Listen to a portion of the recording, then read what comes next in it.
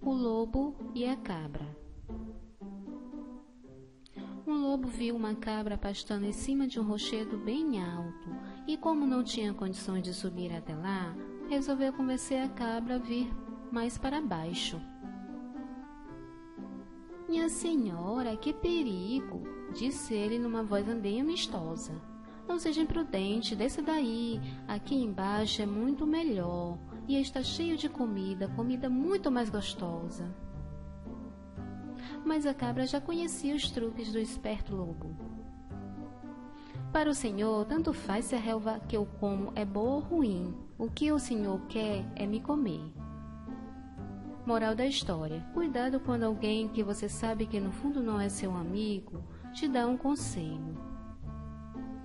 Oi, amiguinhos, gostaram da historinha? Para mais historinhas, inscreva-se no nosso canal, dê um joinha, compartilhe e tchau, tchau!